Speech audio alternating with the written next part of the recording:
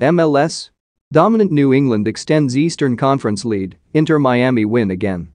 New England Revolution have stretched their lead to 15 points in the MLS Eastern Conference after a 4-1 triumph over Cincinnati on Saturday. First half goals from Tajon Buchanan, Emmanuel Boateng and Adam Buksa helped New England open up a 3-0 halftime lead and they never looked back. Canada international Buchanan was critical, pouncing on a rebound to fire home the opener from close range before dribbling in the box and providing the pass for Boateng's first-time effort. Cincinnati pulled a goal back from record signing Brenner's 54th minute strike, but Buksa added a second on the hour from Gustavo Bou's assist to seal a comfortable win. Revolution have now won four straight matches and are unbeaten in eight games. New England have scored a league-leading 44 goals this year and turned it on without injured star midfielder Carles Gil. Benji Michel scored a 51st-minute winner as Orlando City snapped their three-game winless run with a 1-0 win over Chicago Fire to move up to second in the East. Orlando were not helped when Nani was substituted on the half hour but found a winner when Michel drove home after Tesho Akindele's steal.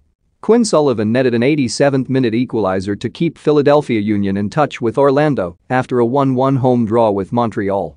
Djordje Mihailovic had put Montreal ahead on the stroke of halftime before Sullivan's leveler which leaves Union two points behind Orlando. Inter Miami continued their form resurgence with a 3-1 victory over Toronto, moving them up to 11th in the East and leaving the Canadians in last. Mexican midfielder Rodolfo Pizarro netted a double, while Robbie Robinson also scored as Inter claimed their third win in four games. Damian Moreno scored a late winner as Atlanta United claimed their fourth consecutive win, edging DC United 2-1. Houston Dynamo snapped their four-game losing run with 2-2 draw with Dallas in their Texan showdown, while Austin climbed off the foot of the Western Conference with a 3-1 home win over Portland Timbers. Colorado Rapids claimed a third straight win, getting past Real Salt Lake 2-1 in the Rocky Mountain Cup, while Vancouver came from behind to win 2-1 over LAFC. After numerous delays, New York Red Bulls derby with New York City was postponed with the pitch deemed unplayable after inclement weather as Hurricane Henri approached. Approached. Approached. Approached. Approached. Approached. Approached. Approached. Approached. Approached. Approached. Approached. Approached